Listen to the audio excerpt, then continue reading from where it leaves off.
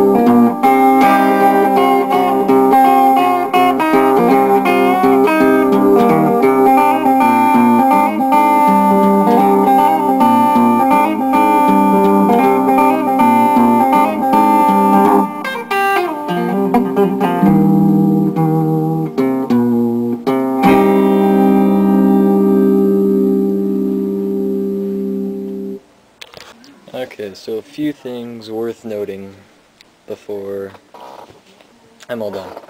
First of all, the way I started the song, just the bass, that's not really in the song. I just like to do that because it's a nice intro for the song. Uh, second, uh, this little series of phrases is played differently the second time that you play it. See, the way that series of phrases goes is it's...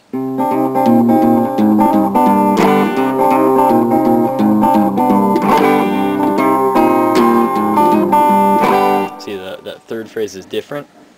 The second time that you play it, you play that third phrase first, and then you play the other phrase second, and then you play that third phrase again last. See, so it goes...